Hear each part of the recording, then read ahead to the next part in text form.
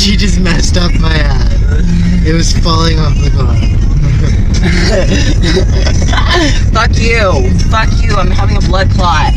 Also, Wheel, I need to feel my thighs. My maintenance house. Oh, one definitely feels bigger. Do you want to feel? No. One feels. You have to when we get to your house. One feels bigger than the other. That's probably because you.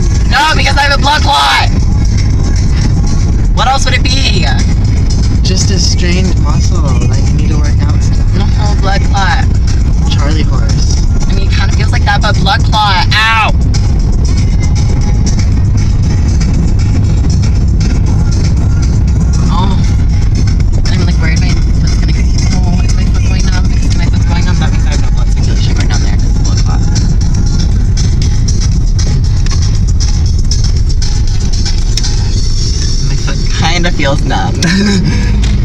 kind of feels numb. Oh, John.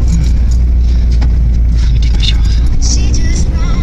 Oh, John. No, no, no. I want to go to the hospital. Alright, let's go.